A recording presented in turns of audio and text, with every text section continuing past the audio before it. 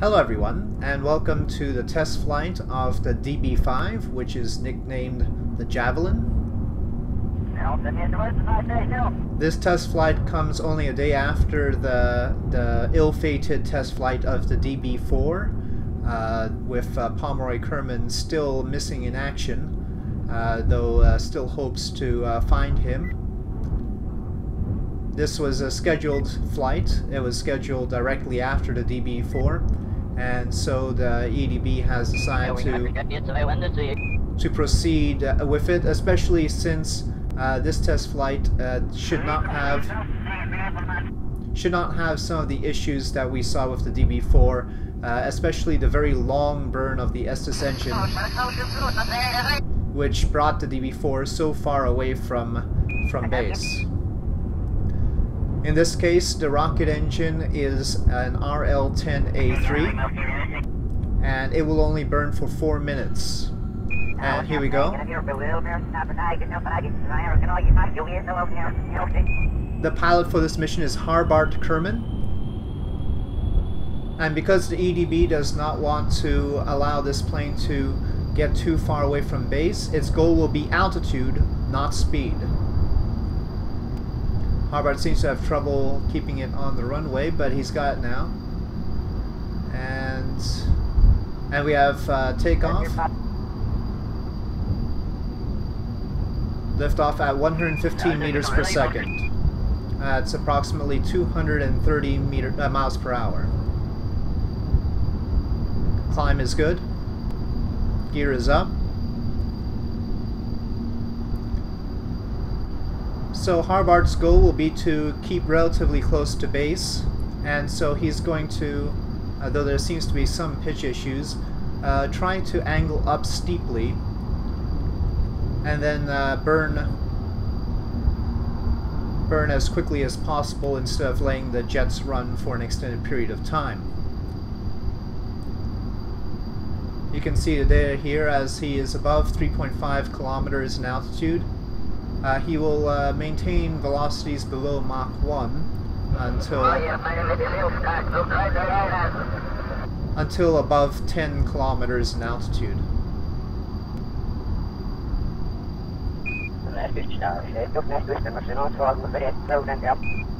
The high pitch angle and turn looks good. Turning to 315 degrees first and Harbart seems to be pointing it up quite dramatically. No problem with that at all.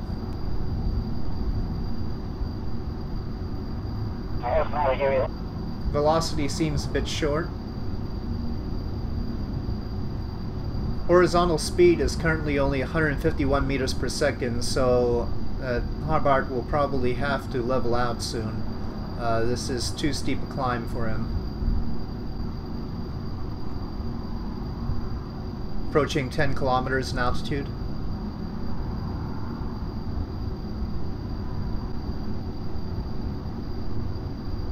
Okay, leveling off, possibly aiming for uh, Mach 2, uh, Mach 1, though uh, though he also has to make his turn to 225 in order to uh, proceed out over the Pacific. Again, that is uh, according to safety regulations here for the testing.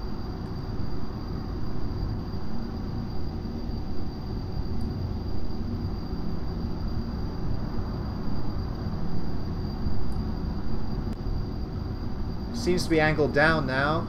Uh, pitch control issues. Uh, we have him at 9.5 kilometers, 291 meters per second, possibly, possibly transonic issues. Uh, Harbart has positive pitch but lack of control, and he can't head to 225. He has decided to light the RL-10 at approximately 10 kilometers in altitude. He is worried about his remaining fuel uh, on the kerosene engines, and so he wants to get on with the test. Still trying to turn to 225 here. And it looks like he has that. Pitch angle is good.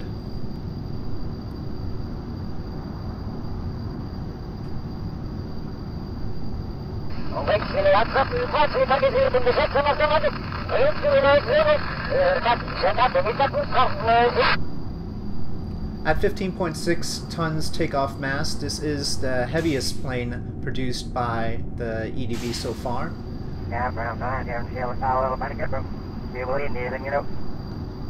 It seems as if Harbart turned off the jet engines, found that that vertical speed was getting lost, and so he turned them back on again. Uh, he's trying to burn some of the fuel to lighten the plane up in order to maximize uh, his uh, ability his ability to maintain velocity, and it looks like he has it now.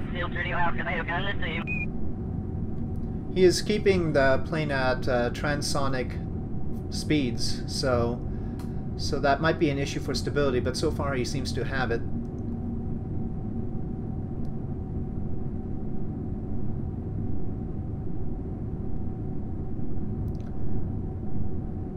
We are five minutes into flight.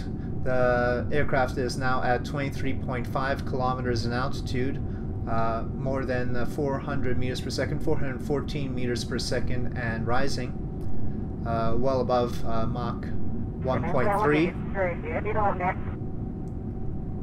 Probably Mach 1.4 now.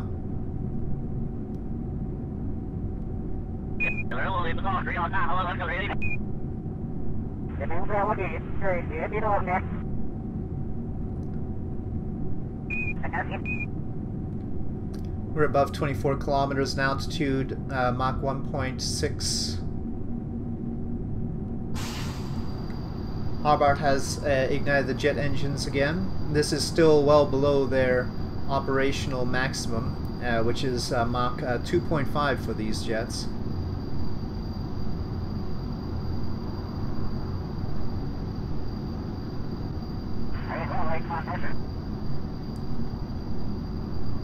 Twenty-six point five kilometers, twenty-six point six kilometers.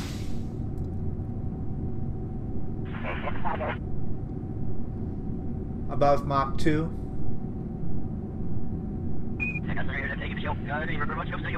Mach 2.2.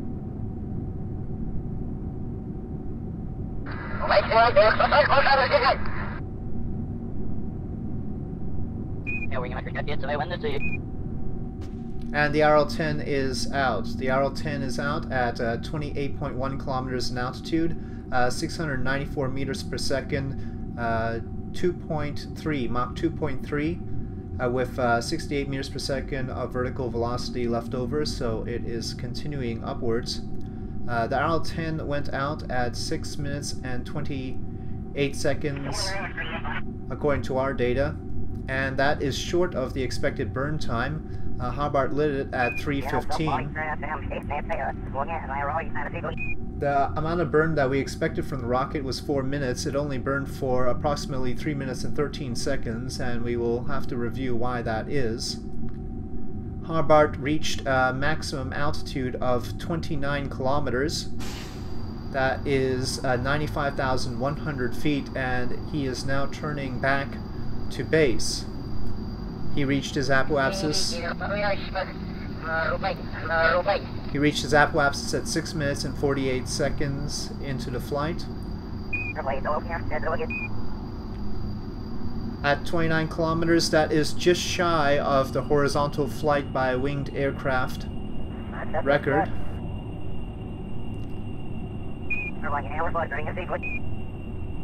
There's some instability in the plane on return as it turns back to 45 degrees, but that is because uh, is trying a pretty sharp turn here, uh, trying not to have the very long turn that we saw with Pomeroy Kerman on the DB4, and uh, so he is at Mach 2 and maintaining that uh, with the jets on during this turn. Somewhat risky in terms of stress, but the designers the designers say that there is no structural impediment to this this craft uh, breaking hypersonic speeds, only uh, thermal issues, of course. Uh, so structurally, it should be sound through very high velocities, even on turns like this. We expect that uh, Harbart will attempt to maintain altitude here. That was another problem with Pomeroy Kerman with the DB4, and so he will uh, he will be coming in high to maximize his fuel efficiency. Though uh, we believe he has plenty of fuel.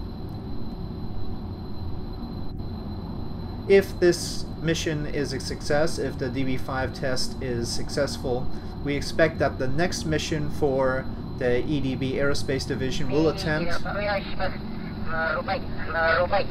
will attempt to go to space, and that is, of course, breaking the Kármán line, uh, which is at 100 kilometers. It may seem like a stretch to go from uh, 25, uh, 29 kilometers, which is the maximum uh, uh, altitude that this aircraft reached, to go to 100 kilometers but uh, the EDB is confident that the RL-10, if it tests out properly with this jet, uh, can be adapted to a rocket plane that will be able to reach such altitudes. And, of course, return safely. And that means that it will be a plane that launches on its own from the ground, unlike the X-15, and still manages to reach space. Uh, quite a feat. Obviously, any plane using the RL-10 cannot light it too quickly because the RL-10 is not very efficient on the ground. We saw it uh, just uh, barely break Mach 2 with the DB1. So, so the RL-10 alone cannot do it, but with the correct design, the DB6, we shall see. So here's Harbart Kerman coming back into base. And you can see the effect of the wide quick turn, bringing him further south. But he's looking good.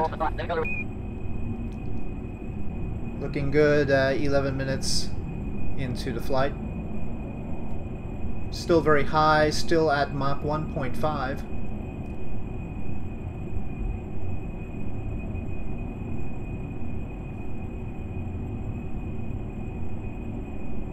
cloud layer is approximately uh, 7 to 9 kilometers in altitude. And it looks like he's aiming to descend through it now.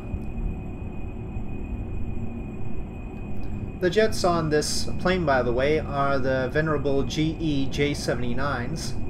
And of course, uh, these have been used on planes such as the F-104 Starfighter, the F-4 Phantom, as well as the supersonic bomber, the B-58 Hustler.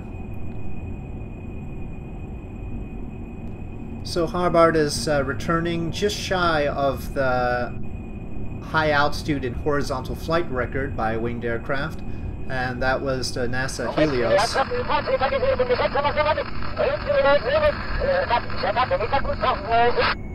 He made 29 kilometers, the Helios made 29.5 kilometers. Uh, but we're not sure that uh, his trajectory would have qualified for horizontal flight. It was uh, still sort of, uh, um, well, at that point it was uh, somewhat of a ballistic trajectory, so in any case, uh, not quite making it there. Far more horizontal than the other records that have been set by either an air-breathing jet or a mixed engine design. Those, of course, uh, were basically straight up rather than uh, approaching it as Harbart did.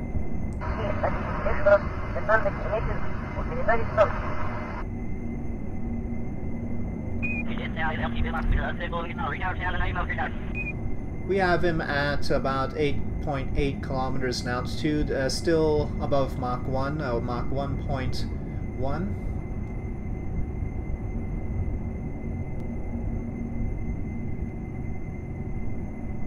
So coming in fast and high here.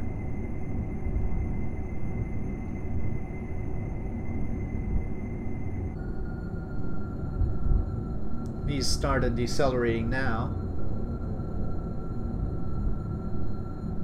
The concept behind the DB6, the first space plane for the EDB, is to uh, basically,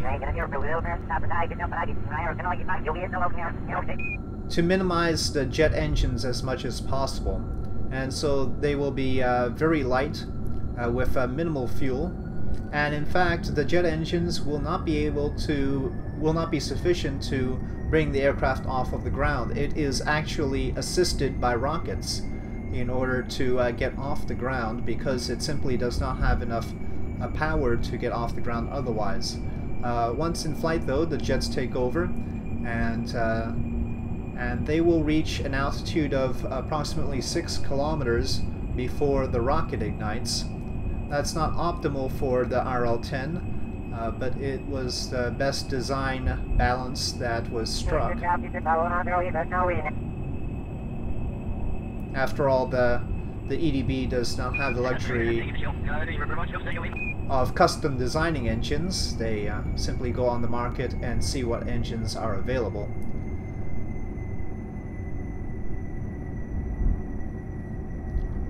And here we're all hoping that Harbart is uh, is all good. He's got his speed brakes out to slow down. Of course, uh, going quite fast. Uh, he is now uh, still above 7 kilometers in altitude, but uh, now, thanks to speed braking, 205 meters per second in velocity.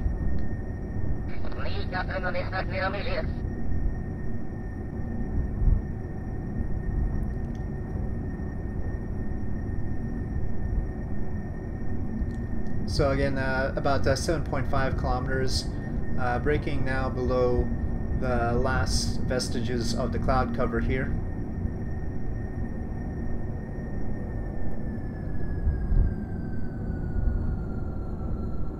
Throttle is way down.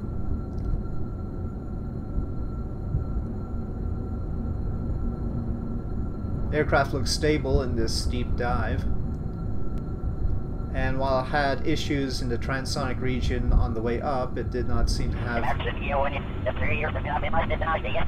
It didn't seem to have too much of that on the way down.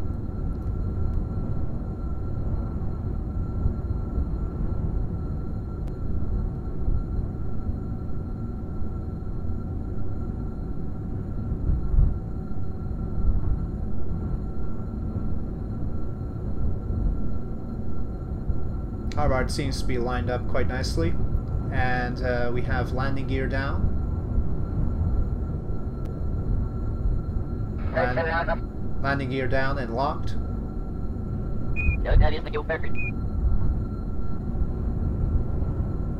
View from the cockpit, 2.3 kilometers, 2.2, 170 meters per second.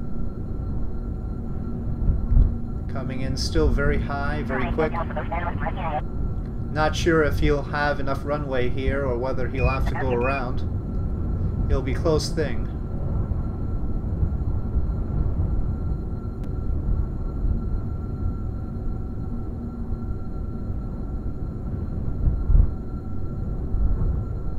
Seventeen minutes, fifteen seconds into the flight.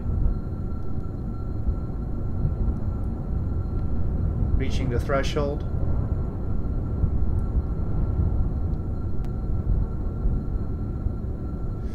It's gonna be tight. Speed brakes out. And uh, he's on the ground, he's on the ground. Still some concern about whether he'll overshoot the runway here. Touchdown was at 17 minutes and 35 seconds and it looks like he'll be able to slow down before the end of the runway. Harbart Kerman, successful flight of the DB-5 Javelin to 29 kilometers in altitude, and this will be sufficient for the EDB Aerospace Division to proceed with the DB-6, its first space plane. Uh, much nervousness about that. There are a lot of variables when it comes to space planes, especially when it comes to effectively a re-entry of them. After all, they are doing uh, something quite similar to the Mercury missions, at least the first two, uh, where the capsules were brought to a high altitude and effectively had to recover and retroburn.